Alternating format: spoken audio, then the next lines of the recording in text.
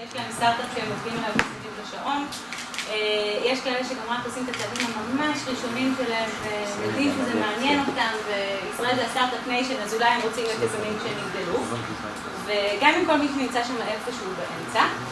אני רק רוצה להגיד, בגלל שרובכם מכירים וכולי, סוף הסמסטר מתקרב, אבל זה אומר שתקופת הרישום לסמסטר סתיו נפתחת. אז בשמיני ליולי היא נפתחת, יש משהו כמו 20 קורסים אקדמיים בתחום של יזמות. ייפתח גם פרויקט נוער בהנדסת תוכנה, שהוא נחשב לקורס שמוכר למגמת ההתמחות ביזמות, גם יזמות בהנדסת אלקטרוניקה. קורסים כמו חדשנות ארגונית, יזמות חברתית, אלו מכם שלא מגיעים ממדעי המחשב יכולים ללכת לחפש קורסים אחרים שמעניינים אותם ורלוונטיים להם. ובאופן כללי, אם אתם מתלבטים ככה מה מעניין אתכם וחושבים מה יכול להתאים לכם, אתם מוזמנים לקבוע איתנו פגישת ייעוץ, אנחנו יושבים פה על הגג בפנטהאוס של הפקולטה, או דרך פנטהאוס.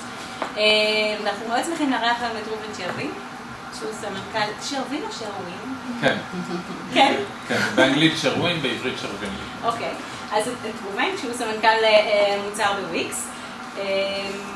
תמיד כשמסתכלים ככה על ביוגרפיה של יזמים יש הפתעות, אז אני רק אספר שלפני וויקס ראובן הוא ייסד את חברת אקסן פייל שנקרא לזירוקס, ואחר כך היה בזירוקס כמה שנים. אולי תספר גם איך הגעת לוויקס בעקבות זה, אבל מבחינת תארים ראשונים, יש לו תואר ראשון, זה משולש, התואר הראשון הזה? בבת אחת עשיתי. בבת אחת במדעי המחשב? שלושה משנים, זה בר אילן, ככה זה. אוקיי. אז בבר אילן מסתבר שאפשר לעשות תואר ראשון במדעי המחשב, מתמטיקה ופילוסופיה בבת אחת. ואז לקחת את הקריירה לכל מיני כיוונים מעניינים. אחת הסיבות שביקשנו מראובן לבוא לדבר, וגם הנושאים שביקשנו לדבר עליהם, הם דווקא הנושאים שבתוך טכניונים אנחנו פחות פוגשים. אז כולם פה עושים תואר בהנדסה, ויוצאים אחרי ארבע שנים שבהם אתם מאוד טובים באיזשהו פן הנדסי, ודווקא החלק שהוא יותר, בוא נגיד, רך או פחות חד משמעי, חסר לנו. אז גם הנושא של מוצר והנושא של לקוח, ואיך מחברים בין המוצר והלקוח, ומה הערכית בעצם הכי חשוב כשרוצים לבנות מוצר שהוא מדהים, זה משהו שהוא תחום המומחיות של ראובן. אחד הדברים שככה שמנו לב אליהם זה כשבראיונות עם המייסד והמנכ"ל של וויקס, אז הוא מדבר על זה שהדבר שהכי מטריד אותו, אהלן, או לא בהכרח מטריד, הדבר שהכי מעסיק זה איך לעשות את המוצר הכי טוב, שייתן כמה שיותר ערך ללקוחות. הוא לא מדבר כל כך על הנושא שכמובן שמעסיק אותו, לפחות על הנושא של המימון והמשקיעים ובעלי המניות ואיך לדאוג לקנברט כמה שיותר משתמשי וויקס שיעברו לגרסה שהיא לא חינמית, אלא איך עושים מוצר שהוא כמה שיותר טוב, איך בונים את המוצר או את הפלטפורמה הכי טובה בעולם לייצור אתרי. אז תודה רבה לראובן שבאת. ערב טוב ותודה שאתם נשארים עוד יותר מאוחר. אני אנסה בין חצי שעה לשלושת רבעי שעה הבאה לספר לכם איזשהו סיפור, כל מיני נקודות מסוימות ואיזה שהן תובנות שלי שהשפיעו מאוד על איך הגעתי לאיפה שהגעתי. וכמובן זה משהו מאוד אישי, כל אחד יש לו את הסיפורים שלו שמהם הוא לומד ואני חושב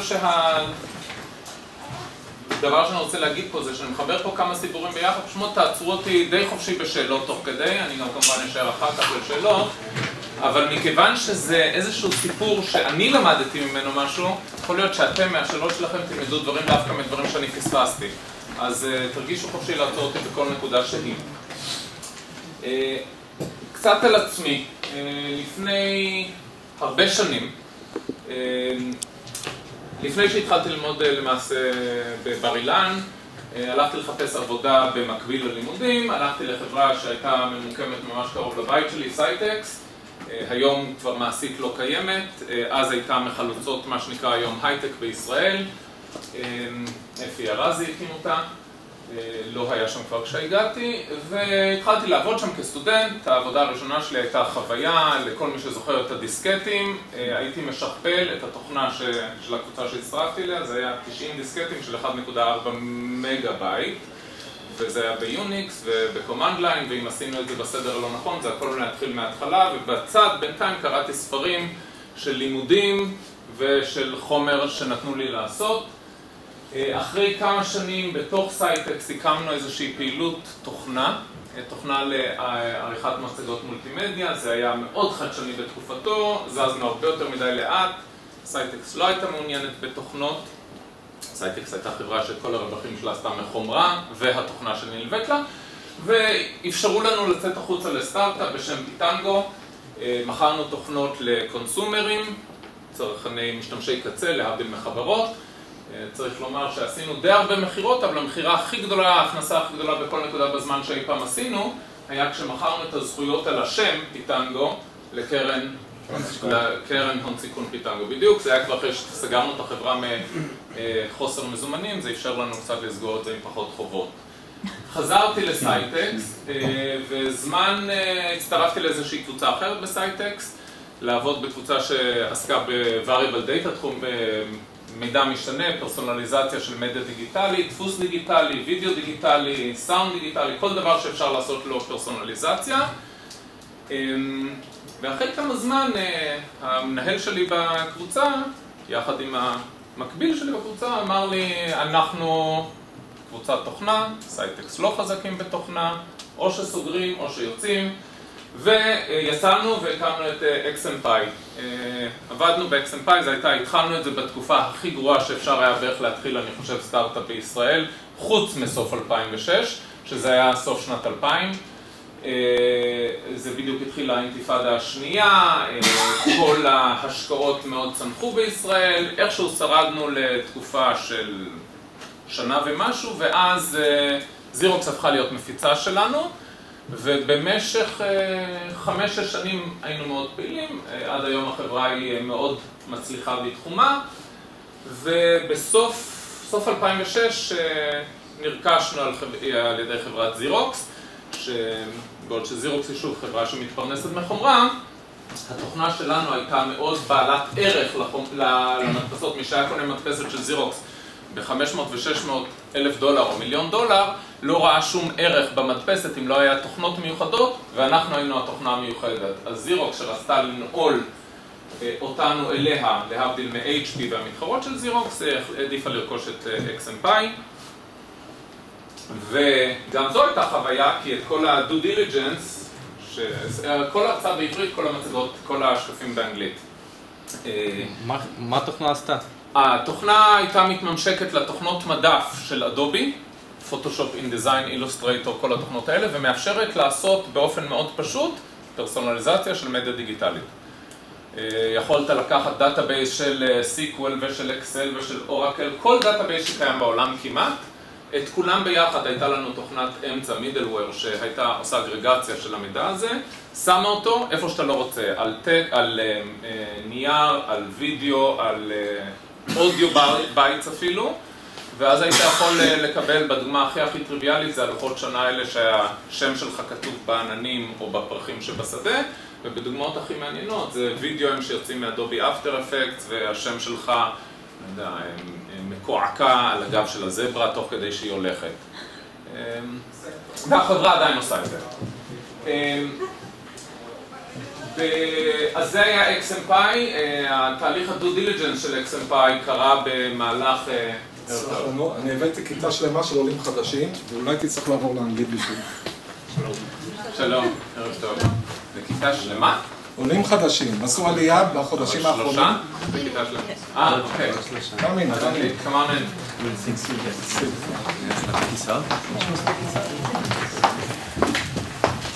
כולם מחפשים עבודה, כולם בוגרי אוניברסיטה גיל ממוצע 35 בין 30 ל-35 ושמך?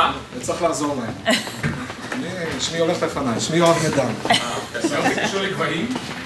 כן, זה גבהים אז באמת צריך אנגלית או שאתה יכול. לקבל? חצוי כולם, כל האחרים ששילמו לי, זה בסדר עם אנגלית? כן, כן? Okay. So I'll, I'll do this uh, slowly for those of you that are uh, less fluent in English. וגם אפשר לשאול שאלות בעברית אה, מדי פעם. כן, אה. כן, אה, ואני מדי פעם אה, אתרגם. Uh, so the due diligence process of the XMPy while being acquired by Xerox was also a fun process. I was doing it sitting in a jeep during the second Lebanon war. Um, and, and it was, I, I had to mute the phone the whole time because Xerox is, as you may know, is not involved in Israel. And they were always concerned about the very fluid state uh, in the situation, security situation in Israel, so we had to be very quiet about it. Not that they didn't know, but we didn't want to put it in their face. That was the end of 2006. And like I said, we were acquired in Xerox by Xerox. We continued working within Xerox. יעקב, יעקב. יעקב, בדיוק,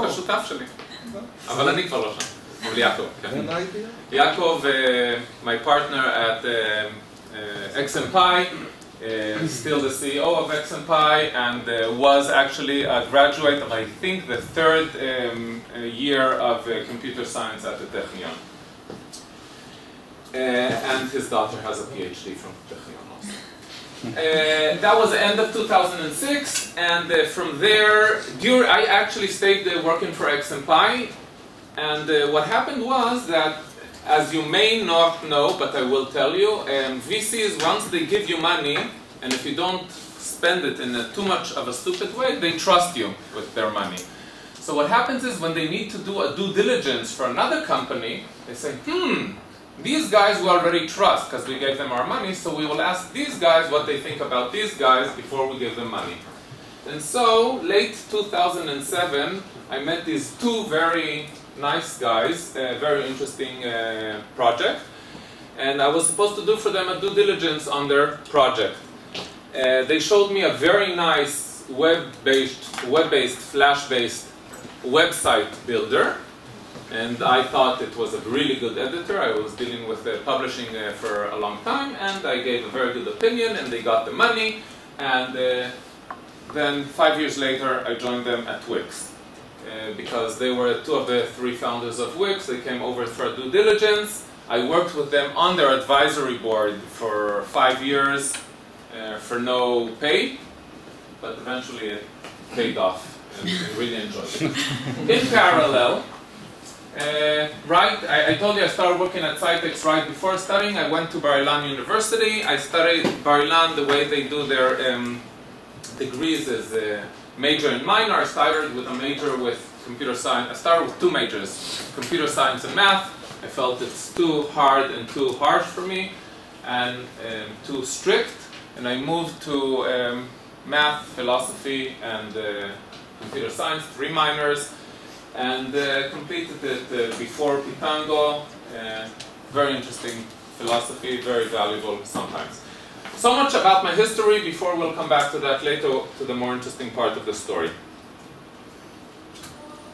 I'd like to say a couple of words about Wix. When Wix was founded, to give you a context, the idea was the following. Everyone knows to create a document. If you want to create a print um, uh, text document, you go to Word, Microsoft Word. If you want to create a presentation, you go to PowerPoint.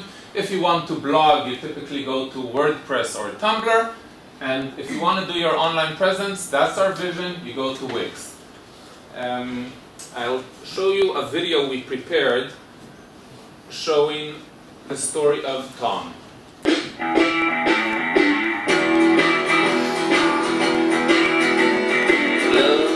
Powerful and easy to use tools take care of all of your day to day business needs, so you can focus on doing what you love. Take Tom, an indie folk musician, for example. He quickly uploads and starts selling his music with the Wix music player. Now, everyone can listen to his songs, and he can keep track of how he's doing. Tom's life is all about writing songs and performing, but he also needs to make money. Wix Stores, our e-commerce solution, makes it easy for him to sell merchandise, manage his inventory, and get paid. Every time Tom makes a sale, he gets an update on his newsfeed. With smart actions, communicating with fans is a breeze. He sets it up so his customers automatically get a thank you message as soon as they make a purchase. He can also send subscribers an automatic welcome message or even a special offer. There are so many ways for Tom to promote his concerts. Sending a shout out newsletter to everyone he knows is the easiest way to reach lots of people instantly. All of his contacts are organized in one place, so he can easily get in touch when he needs to. Then, right before the concert, he uses the Wix app to create and send a promotion from his iPhone.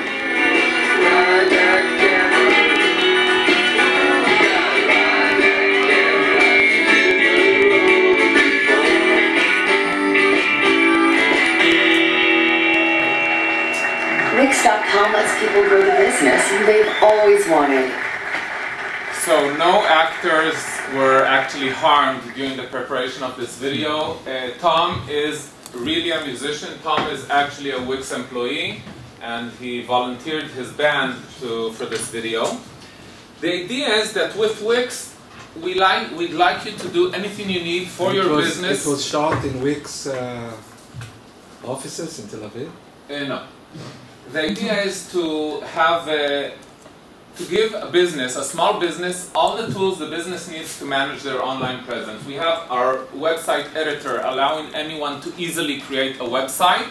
Within less than five minutes, you can have your first website online, accessible from anywhere in the world, with one of the best performance of any HTML website out there. We have uh, numerous tools on top of that. My account is where one the business would manage their contacts, their invoices, the content of their store. Uh, we have uh, vertical tools for hotel management. So if you're a small hotel, want to manage your rooms there.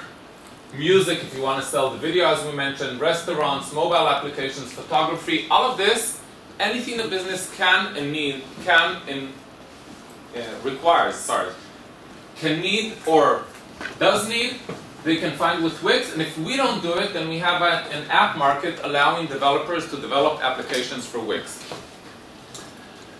To date, Wix is um, uh, almost uh, eight and a half years old. We have over 60 million registered users with more than 1.4 million new users added a month with 190 countries where Wix is used, over a thousand employees, 50, more than 50% actually of our employees are in R&D and we have no salespeople. All of our customers find us on the web by searching for the best website builder, free website builder, uh, website builder, do-it-yourself, and some of the ads we place on Facebook and Google. Uh, we have a great marketing team, but no sales team. So much about the background. Now. אתם עובדים עם חברות גדולות? עסקים גדולים או שזה רק לעסקים קטנים הכוונה? Okay, so I'll translate and answer. The question was, do big enterprises or businesses use Wix as a platform or do we only target ourselves or only have small to medium businesses? The answer is we target ourselves to small to medium businesses. If you would want to build CNN, the CNN website, today Wix is still not the platform for you. So stay tuned, we're working on that too. so we want to have everyone, but the, if you look at the stats, there are, I don't know, I think about hundreds of thousands new small to medium businesses opened every month in the United States. More than 70% of them do not even have a website, not to men- mention all of the other values of online presence. And the reason they don't do it, because they perceive this to be too hard and too expensive, two of the problems we solve for them. It's free, at least to start, and it's very easy. So much about Wix. Uh, we can answer questions later if you want. And now I'm moving to the lessons learned in the 25, 6, 89, however many years since we started. So, the first thing is that most of my expertise over the year has been working with teams. I started at Scitex with one of the best team managers at Scitex ever, a very talented person by the name of Victor Rogel. And he was known for building great teams, and I simply tried to see what he is doing and copy it. And everything I've managed to achieve in my professional life, and some of what I've managed to achieve in my personal life, is all based on lessons I've learned there. I'm talking about product, but I think most of it you'll see is applicable for any place you have more than one person, or you want to be more than one person. So whenever you talk about team, you typically talk about sports. I'll give you a number of sport metaphors, and I just need to here. Please watch how many of the red players, I believe, touch the ball before the basket. Okay. What a shot from Roman Martinez. Next one. This is not the one. This is move number 10. I want to show you number 9. White players, sorry. Count. with a terrific fake. Three, four. Thomas setting six, now. A push pass, finally to share the ball! Voila! That's one example of teamwork. I'd like to show you another team sport. What's a good example of te- another team sport? By the way, Golden State versus football. Chess. Football, or I'd like to say, as we say it in Israel, soccer, because I'm not talking about American football. Count the number of pe- uh, players touching the ball. Start from looking up here, okay? Whoops. Messi.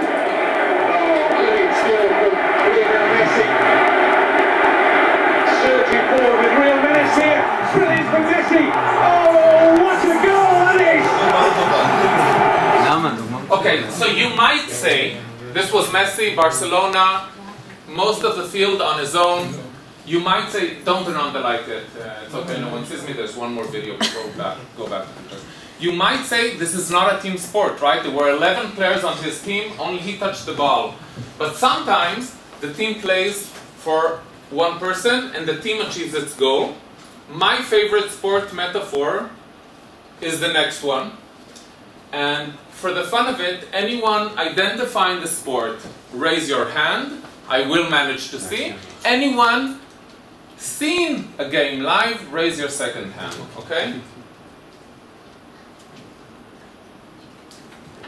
She will be Canadian champion if she makes this shot. Okay, one, two, curling. Curling, okay, so eh? good. So this is an amazing game, and I think the best metaphor for teamwork. Most difficult attempt, trying to come in off the start on the outside, trying to get the roll. They're working on Where's the contact? There's the roll. She made it.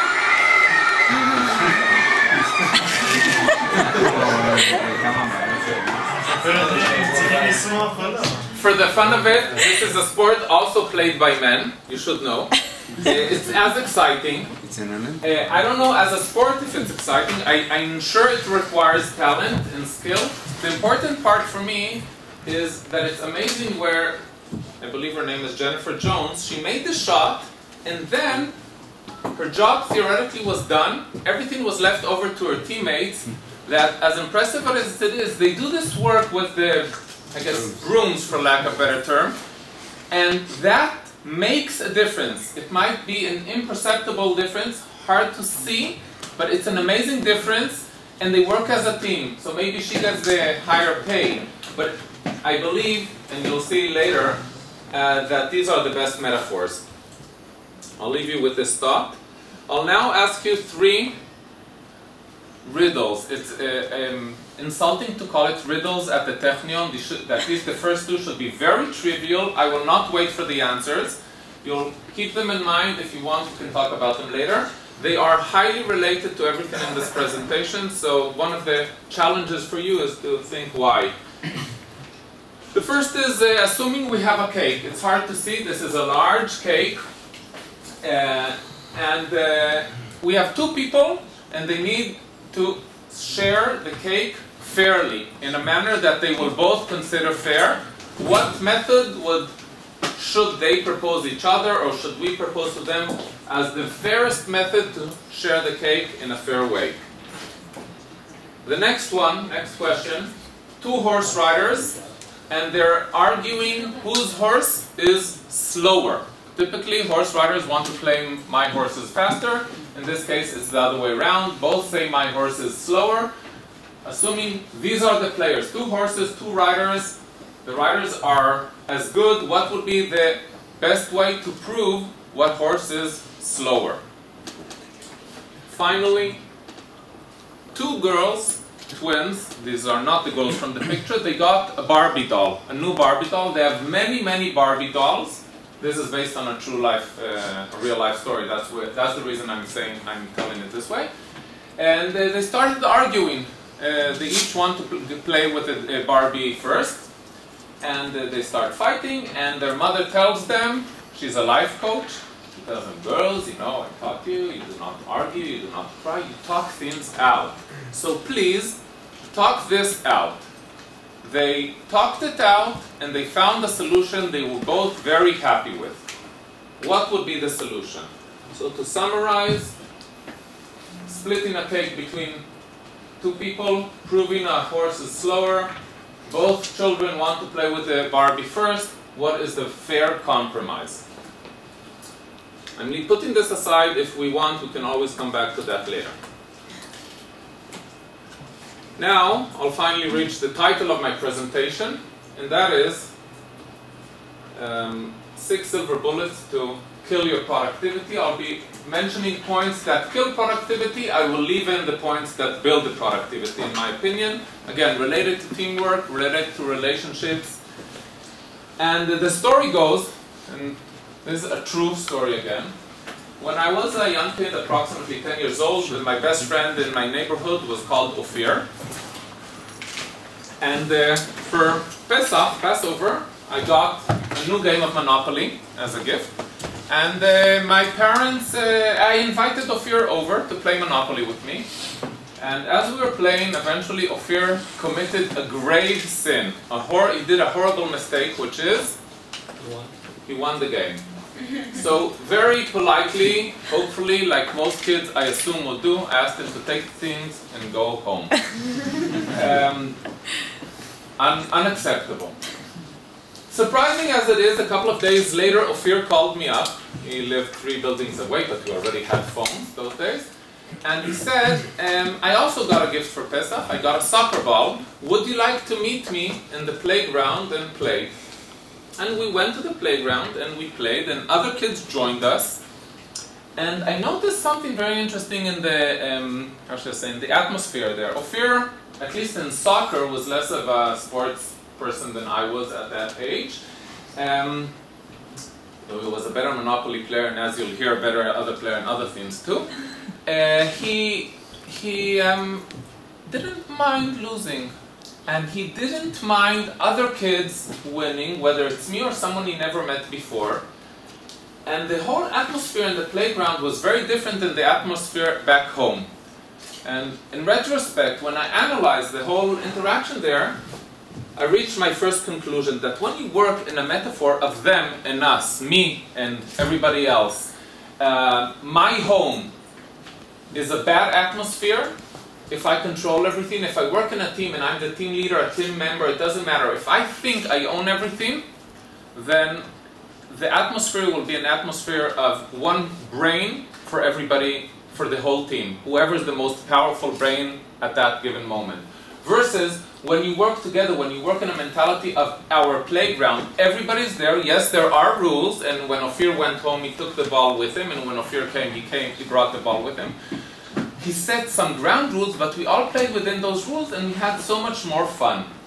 Now, when you talk about software, when you talk about product, you, there are very lots of methodologies about how to do things, but at the end of the day, if you limit yourself to methodologies and you're, you're unflexible in how to do things, then it doesn't matter, those of you from software engineering, you may know Scrum and Agile and Waterfall and TDD and many, many acronyms and how to develop software. But the most important part, in my opinion at least, is not what you do, it's how you do it. Specifically, the mentality of home versus playground. Playground wins big time.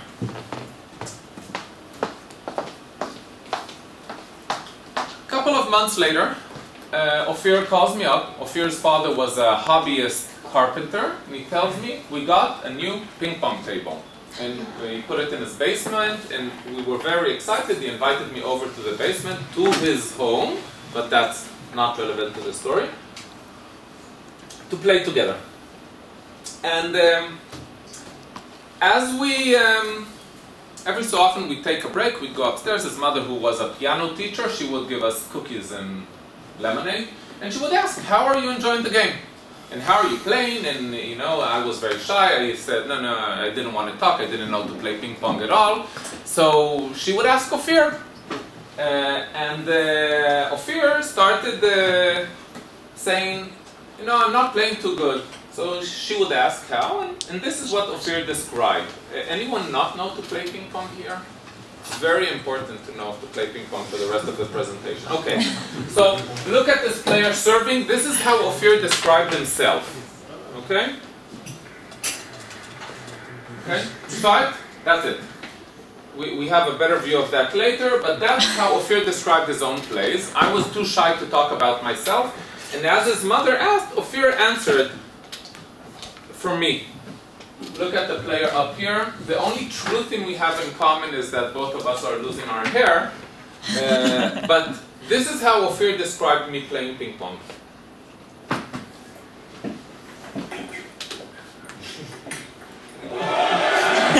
and if you didn't like that, I will now bring a second version with hair.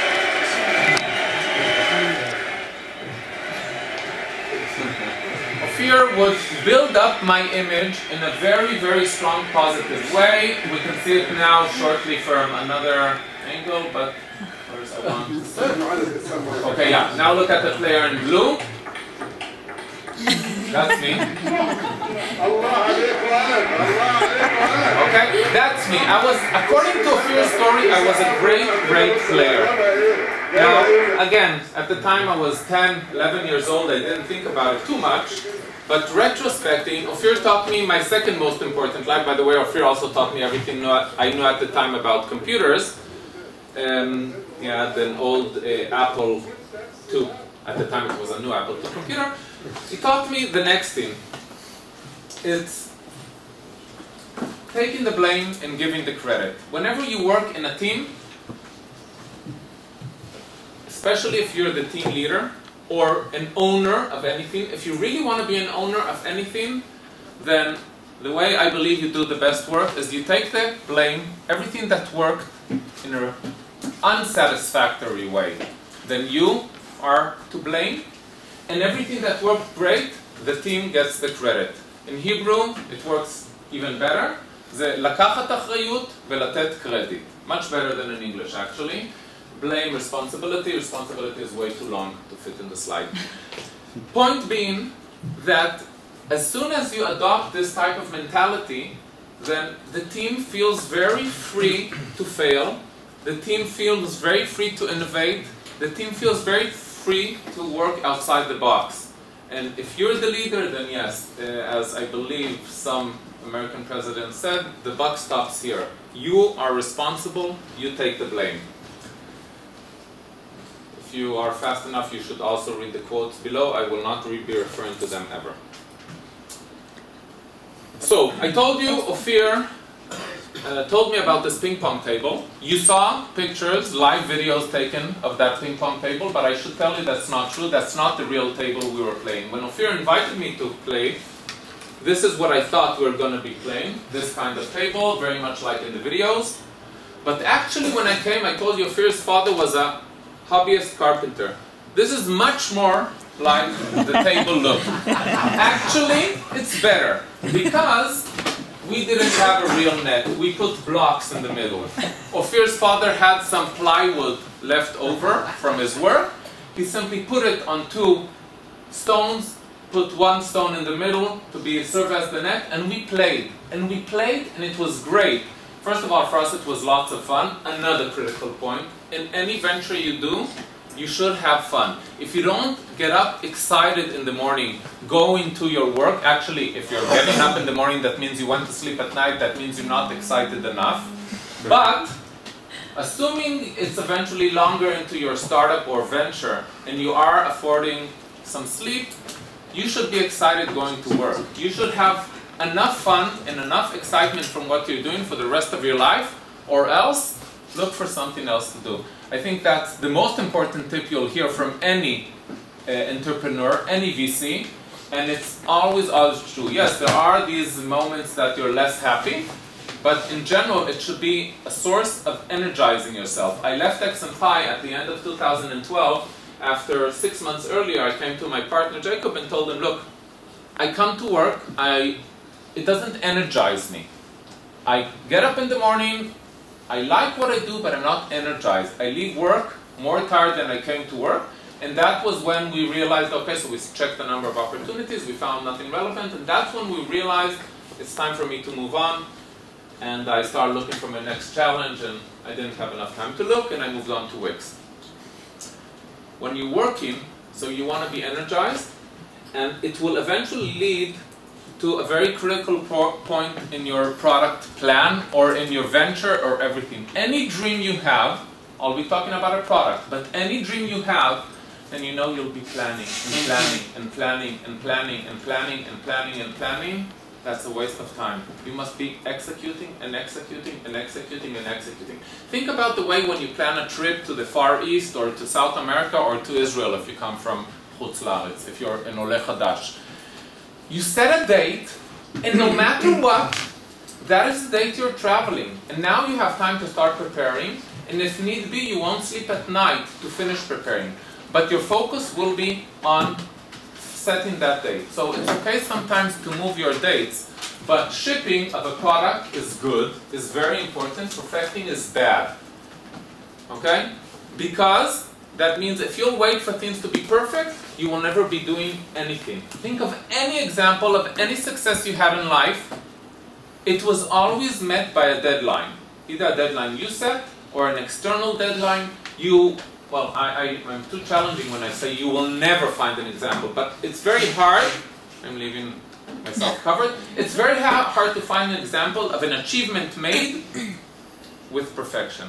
Achievements are always made by two categories content and delivery. And delivery is as important of content. There's the dream, and then when there's when you deliver on a dream. To show an example, I'll show this.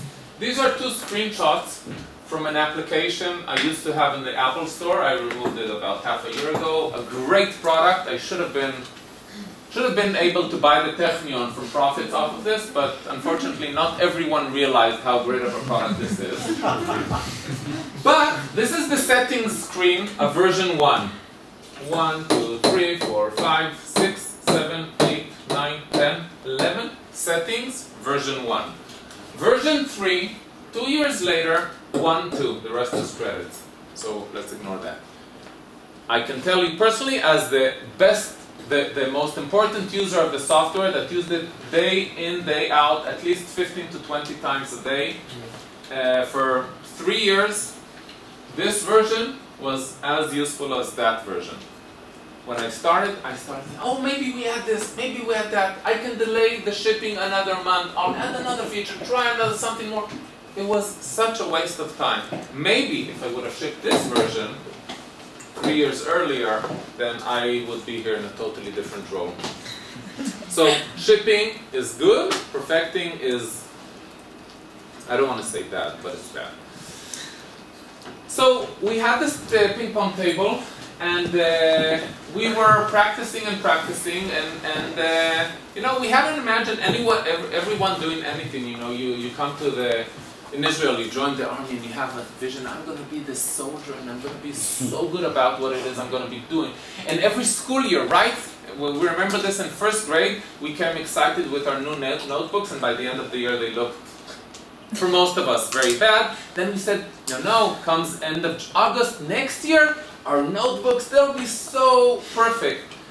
And we have this vision of how we are when we do things. So this was the vision of how we thought we were when we were playing. Okay? 现时欧洲嘅运动员咧，比赛都用呢版啦，放放下突然间上个版咧，令到你难以亦都应付嘅。嗱呢版靓啊，再一版发力，好冲㗎，陈生话收白一个车身， It's an exhibition. 再教大家，再放咗动作表演，好精彩呢版咧，再嗱呢版诶缩细。 This is how we imagined we were playing, obviously with some expect- uh, exceptions. And the truth is that to some extent, well, first I should tell you how we started out playing, and this is what it looked like when we started out playing. Much more like this.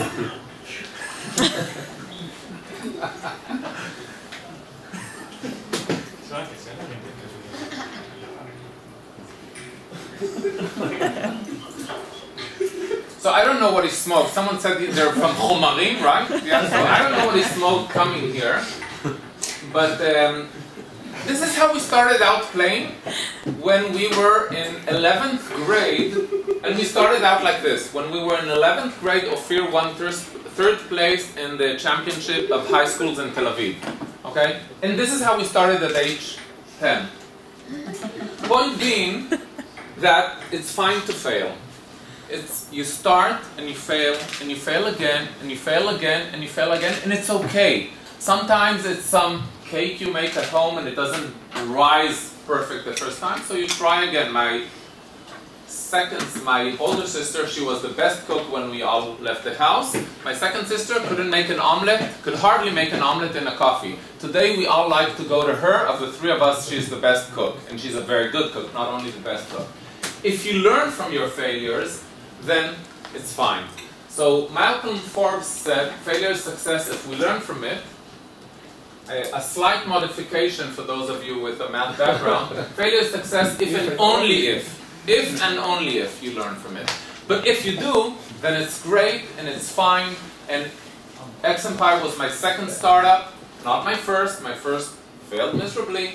And many, many entrepreneurs fail their first or second project. So, working in a team, the next issue is uh, sharing information. And um, many times we're concerned. So I'd like to show you an example. This is a FedEx commercial. This time we want the volume till the end because the volume is low here.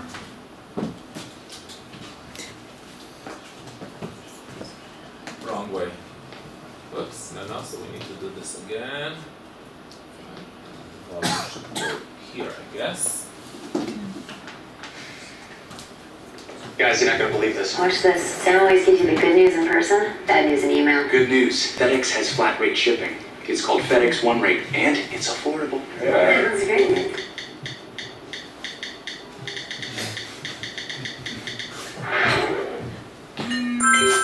And we have to work the weekend. Great. More good news. It's Friday. Woo! Ship a pack via FedEx Express Saver for as low as 750. So, from in my line of business, but I'd say this is again true everywhere. Transparency, you may have heard this, is, is a very popular uh, buzzword in the industry. Bad news, from my perspective, are good, or at least so much better than black holes. And I don't mean black holes in the physical uh, sense, I mean or astronomical sense, I mean black holes in the context of no information sharing. Uh, I was meeting today one of our my colleagues at Wix, and they, I told them, yeah, you know, I'm going to be emailing you, and just tell me, could you reply to my email? He tells me every day I get. He asked me to send him an email, so I said, okay, just please acknowledge you get it. He said, I never acknowledge emails. If I don't say anything, it's okay. Tell him why. He says, I get every day. You know how many emails? A thousand emails.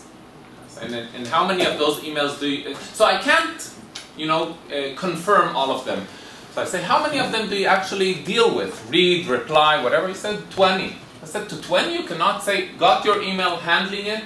He said, no, you'll get an answer. If I don't answer you within a week, then, then what? We've wasted a week. It's critical to get, give back timely feedback, timely information, let people know what's going on. So, good news, bad news. There is no such thing as bad news. There's the only bad news are no news in a way, contrary to the metaphor. In my final point, one of the funnest points, anyone know this commercial? Okay. Okay, so you're gonna have fun. All of those that don't. And volume is fine. Okay. By the way, as you try thinking what what's it a commercial for, there are three variants of the same commercial.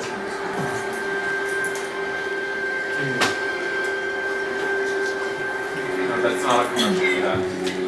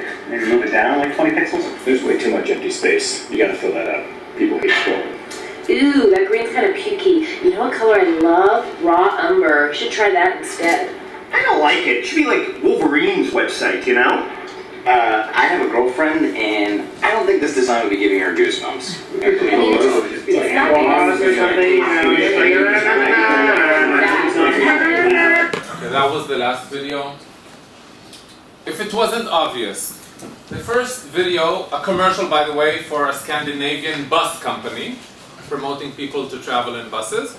Um, the first commercial practically is teamwork.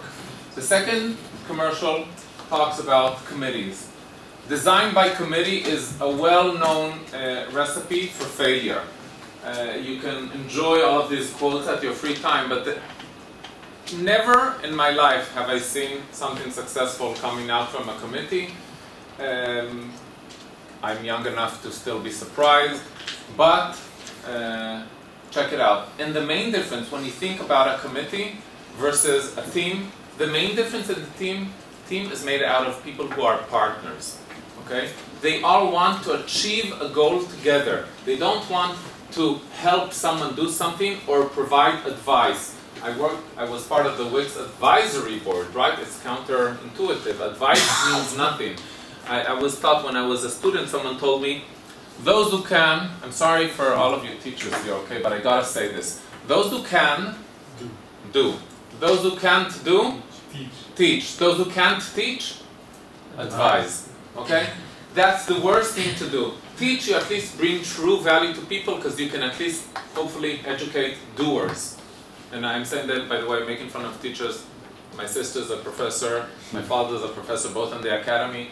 Having said that, and with all the respect to them, my point wasn't about the teachers, my point is about the advisors. Advisors are not partners. They do not help achieving goals.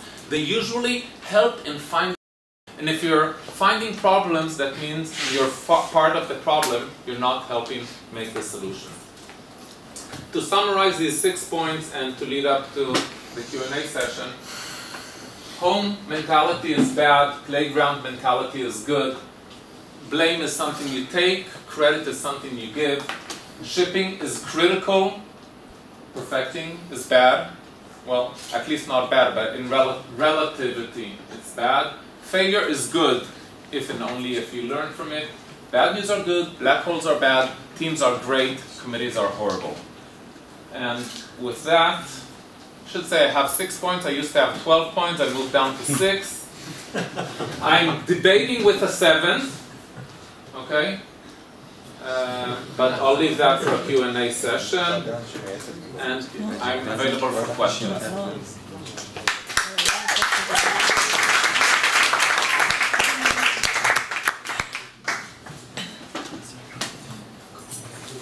Yes. Just a comment or a question. Yeah. We're going to have an interesting, probably, finals in the NBA this uh, season because we have one team which is really teamwork, which is the Golden State, and one that is built around uh, The Israeli coach. the Israeli coach, but they're, they're solo player. And interestingly enough, uh, I heard once that uh, the coach told uh, Michael Jordan, there is no I in the word team. And he said, yes, but there is I, I in the word win. Yes. So there are people who can afford not playing in a team. We, They are the we, we all know, especially in sports, there are many metaphors that prove, or many examples you can take uh, to both sides. I believe it was Moneyball, the movie, where there's this uh, baseball coach that builds a whole team by taking this misfit and that misfit. And true story, played by, I believe, Brad Pitt, um, uh, where you take misfits and you build from them a team, and they, I don't, I don't think they won anything, but they got very far. And then you have Barcelona built around Messi, and uh, what was it? The Real Madrid, Manchester United around um, uh, Ronaldo. Okay, it works.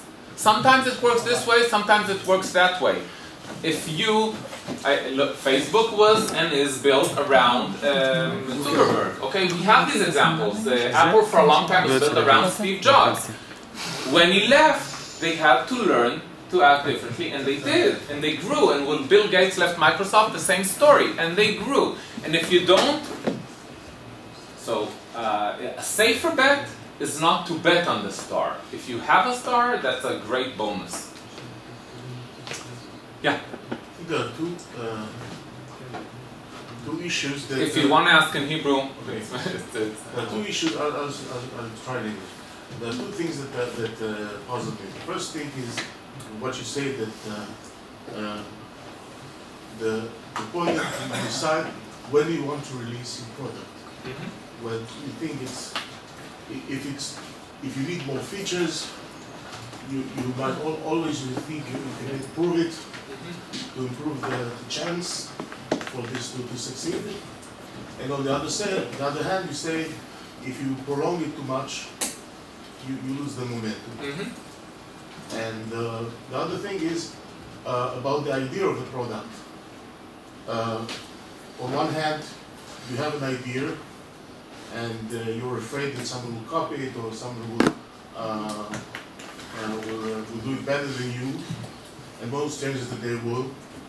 And on the other hand, if you keep it to yourself, you need to, to get you don't get any any feedback. Right? It's okay. So right. these are these are two issues that There's no clear-cut solution. But how do you see the the the uh, how do you see yourself managing in this in those two conflicts? So. Mm, when you work with a team of good people, my first boss, what he taught me was there are very two simple rules to build a good team. Recruit or uh, bring in people who are smarter than you and nicer than you. For me personally, it was always very easy. When you have such people, you have a problem because they are all very smart and they all have an opinion. Okay? And they all have their favorite feature that they think they must put in. And it will always be true. Even if you're working alone, you will always have this dilemma. And what I try to do, okay, because there's never a right answer, but what I try to do, by the way, we launched Wix Music, I think about three months ago. A week before, one of our biggest competitor launched a music product a week before us and stole all of our thunder. So we're not concerned, they're so way behind, we, we will beat them hands down. But we waited one extra week. Should we have? The truth is we should have waited two more months. And how do I know? At least two more months. Whenever I tell, whenever we have this dilemma, should I put one more feature in or should I release? I tell the team the following. If this is a feature that you are willing to kill the product, not ship the product at all if you don't put it in, then okay, let's talk about it. But if you think you are willing for even a second to ship without it, then let's ship without it.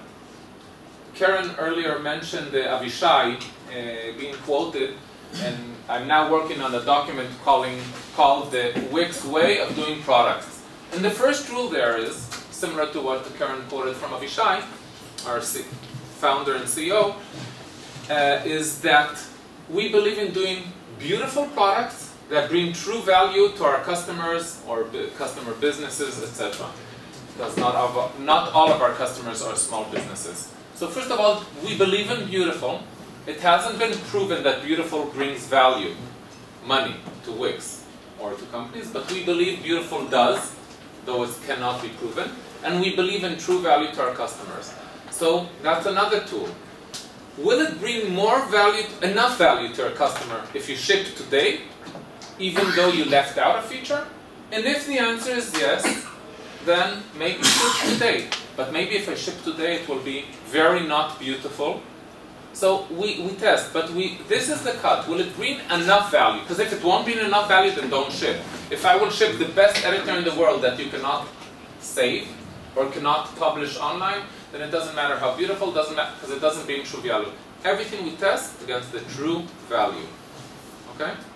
It's a tool. There's no right answer. That's what sometimes differentiates succeeding companies from failing companies, and you always need to be on the watch.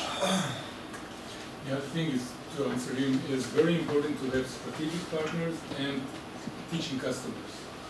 People that you trust that understand the application from the user side, not from the implementation side, to com- uh, complement what you're doing. So actually for every product line on, that I showed, we have what we call an advisory board, a set of customers, either Wix customers or not Wix customers, that understand that domain, musicians, uh, e-commerce users, uh, bloggers, that tell us, you know, guys, what you have is good enough. I, one of my products, we started testing, by the way, everything we do with A-B testing, but I won't go into that. Another time we can talk about the Wix product methodology. Um, we started testing it in mid-December, and we completed shipping it mid-April. The four longest months of my life.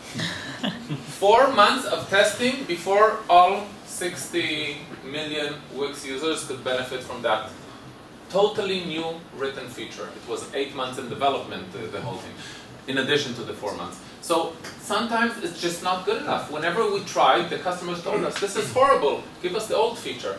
So we took it back and we tried to improve and we tried to improve. Eventually we got them what they wanted.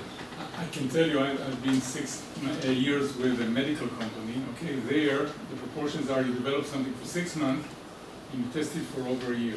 Oh yeah, I Okay, know. Including alpha and beta and. Uh, internet, so baby, on, internet. So, uh, yeah, it's hard. When, when you do hardware and, It's and very medical, very hard. Yeah. Most people that come here to get some inspiration from you.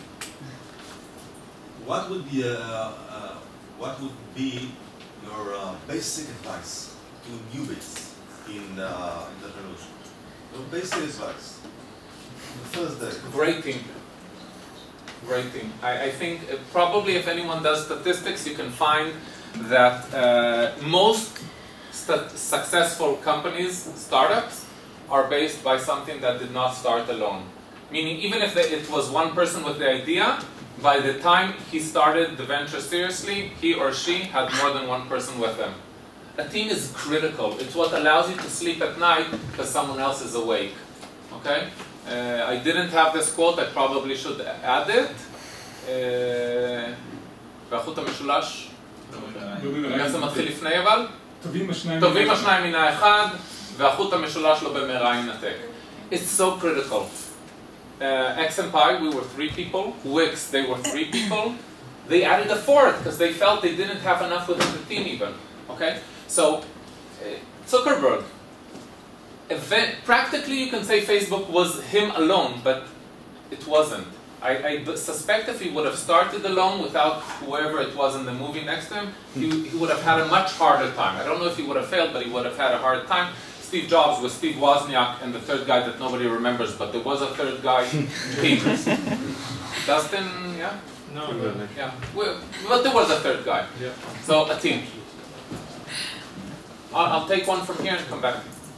You talk a lot about how to deal with a team already when you have one, but can you give some advice of how you choose a team at the beginning?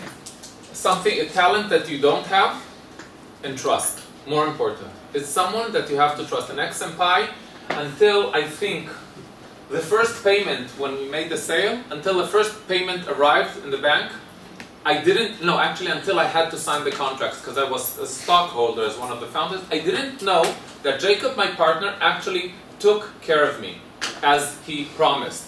I trusted him that he went to the negotiations alone, I mean, with the lawyers, but without me or our other co founder. He did everything, and I trusted him. When I came to Wix, they told me, We're offering you something that is a good package, and this is the standard. I trusted him that that's the standard. Trust is the one thing. By the way, once I found out that trusting people didn't work out for me, Okay? Someone told me, no, your previous boss actually paid you way too low for what you still consider him my best boss ever. Because that, that was the boss, he, my first position, he didn't pay me, according to other people, enough. Trust. Because I trusted him in so many other things, I felt that if that's what he paid me, that was fair. Trust and talents you don't have. Or have less of. Nothing, I'm a graduate of this faculty and uh, throughout my years uh, I stayed here, I always thought that startup. uh, are created by engineers or, or people from the computer industry and so on. And what I see now is that there is a, there's a huge fight about when you can almost split in half those people who go to, to entrepreneurship. One are the, the engineers with those with this methodology of uh, how you develop the product and so on. And the other one are the I call them the, the designers, the, the one that go from they come from uh, all sorts of arts and architecture and so on. So what would you prefer? A team based on engineers or based on on uh, designers? So I, personally, I, I have I, I'm not a successful VC. I did invest once in a company. I failed miserably. Um, but so so I can only say from what things I saw. You mentioned, by the way, people coming from the What do you mean you or- failed? You said you Yeah. failed, you succeed because you learned something. Uh, Yes, So I did, learned and it was great for my tax returns. Okay. You learned Yes, something. I meant that that startup did not give me a return on investment in Okay. any. Uh, Wix uh, but thank you for correcting me. Yes. Um, first, I'd like to add there's a third part. Find people with no related formal education. Uh, I, I've been doing office hours, consulting in one of the um, uh, acceler- It's not really an accelerator. It wasn't called one of the hubs called the Junction in Tel Aviv, and I met. By the way, I met Meerkat there before they were Meerkat. Um, Yevvo, exactly, Ben Rubin. And um, but in the same session that I met Ben, the same uh, round, I met a very interesting lady by the name of Mika Chai. She's um, uh, do-it-yourself type of thing, uh, Batya Batya Uziel, if you know what I'm talking about. And she had an idea of a startup of building kits where you can order online for party girl parties, if you want, uh, typically for girl parties. I'm not biased. You can uh, to doing uh, purses, and so you order the kit. She has no technical background whatsoever. She has no formal training whatsoever. She started a startup. She got a million and a half dollars investment. She sits now in LA and is doing very well. Called Take and Make. Uh, so I think more than all, more than anything else, of course, once there is an interesting theme, as a VC, you will look for a good idea, something you believe can succeed. So if it's a technical idea like take and make, so you need to solve the shipping supply and the logistics and the mailing and how do you make the money and how will people find out about it, you need a good business story. And I think it's critical, you need a good team. You will, I, I cannot say, again, I, I, at the junction I saw, I think by now, 20 startups. I would never guess that uh, Yevvo, um, uh, which later became Air, which later became Meerkat, would be so successful. I, I read about Meerkat, I said, hmm, who would want that? I said, oh, that sounds familiar. I said the same thing half a year earlier about uh, Yevvo. I'm so happy, great guys, they, they have a great idea. So, you you never know. By the way, For VCs the- don't know for either. a given idea, for a given idea, no, it's, it's, For a given question, idea, you- given you- idea, look, you need- you need- kind of uh, thing would you choose? You need you need the skill set to deliver. So if uh, Yevvo wouldn't have the people to do um, uh, streaming and servers, then they couldn't deliver. And if Mika and Take and Make didn't have relationships with all of these uh, Batya Uziels of the world, of the United States, that have YouTube channels and didn't have the into there, all of the technical sources in the world wouldn't help her. So it's a combination of what the solution requires for this domain of the problem. Uh, first, I want to thank the class because you shift to English, and for us, you know, it's very important because also we can from very far You, away. you make Aliyah, we should do everything we can to help you. I Thank you, because this is what I taught them before we came here. I spent two hours with them and I told them, you know, don't worry, ask people to speak in English. Just because you made Aliyah and you committed for You, the anything, anything we can do. Yes, it's nice also for us because we feel like part of the Technion. We have this little class, but it's nice to be here with you guys, you know, to, to be feeling that, that we are here. so I wanted to ask, what's the size of the team that you think is perfect, you know, for something? Three. Three people, eh? uh, my quote from uh, King Solomon, I believe. Uh, two, two is great, three is better. That's from Proverbs. Yeah, Proverbs. In the Bible. Yeah. Uh, I think three, though it's, sometimes it's, it's larger. I think four can be very challenging. The fourth person needs to be really special. Even three, three is sometimes good because if you have arguments, then there's a third person, person to make the ruling. I think three. But it's interesting to do statistics. If anyone here does research, then maybe it's a good uh, research. Other questions? Yes. So you have three internally, and then you've got obviously a consulting base that helps you, that you outsource your, your legal, your financing, Mhm. or you're speaking specifically of a core three of a, somebody that's a business strategy, somebody that's more technical. Oh no, it could it, theoretically it could be all engineers. The, the, my point with three was three because uh, it, it's, it's good to, to have someone watch your back. At XMPie we were three engineers. At Wix it was three engineers. The fourth became uh, was actually a do-it-all person. Now the president of the company, uh, and, and came with no background whatsoever. So uh, the, it's not that you need legal or finance or anything. It, you may. It may be that in your startup you have a finance. Um, BillGuard, I believe, that do defrauding. So clearly, if they didn't have anyone from the finance industry in their uh, starting team, then they would be dreaming things that totally are unrelated. You need to have someone from your problem domain, but that's the only requirement you have. The fourth can sometimes just be a, a good person to trust, which will start as an office manager and will later on be the COO of the company. You never know where things go. No specific skill, as long as they're skilled and, and more important, they're passionate. You have to be passionate about what you do. There's not enough times I can mention this. Where's the girl in the back? Yeah. You, you have to be doing something you love. Passionate. Yes. uh, raise money and patents and everything, or uh, go and start selling and marketing? And Uh, one of the most interesting startups I know, uh, I don't know, but I've read and followed, is uh, was founded approximately 15 years ago in New York City called Fog Creek Software by a person who at the time had a blog, a very good blogger, a technology blogger by the name of Joel Spolsky. Joel Spolsky, who's an American Jew who came to Israel, did the army, Nachal, went back to the States and went to Stanford, Microsoft, all of the best places in the world and had a startup and he said if I'll build a great team I will not bring any venture capital we'll all invest our own and we'll put them in a great location and we'll build a great product and we will never raise any money. And he's succeeding. But he didn't succeed like Zuckerberg. Okay? So there's risks to taking money.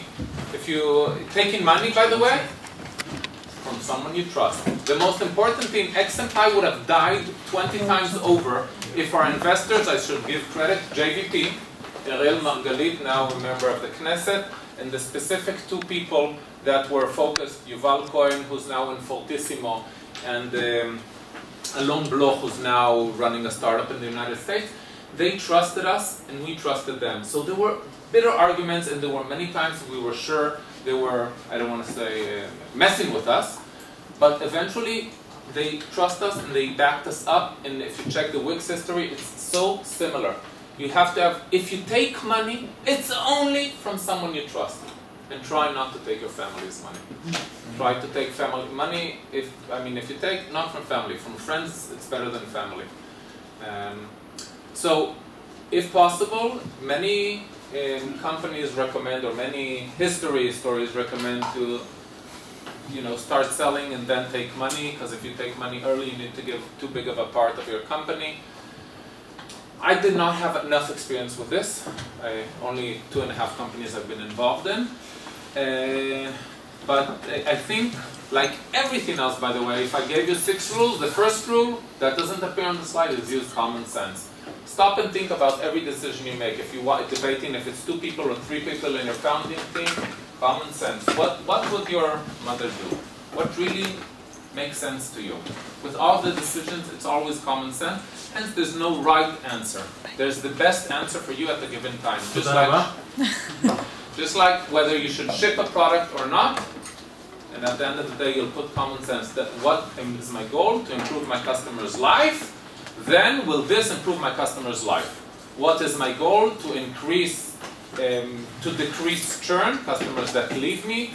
So will this decrease churn? What is my goal? To expand very quickly, because if I don't take the market now, something bad will happen. Then take VC money. It's always, what is your current most important thing in the mid to long term? Yeah. When you develop a software prototype, uh, in which stage would you approach uh, VCs? So, um, Uh, in 2000, the dot-com bubble burst, and people were saying that one of the biggest reasons that happened was so many people came to VCs with PowerPoint. The VCs said, oh, if I see it in PowerPoint, it's probably not a problem to do it. And then they expected things to happen fast. XMPie, by the way, we built a working product before we went to VCs. Israel and myself convinced Jacob to get us the most expensive laptops at the time, and we developed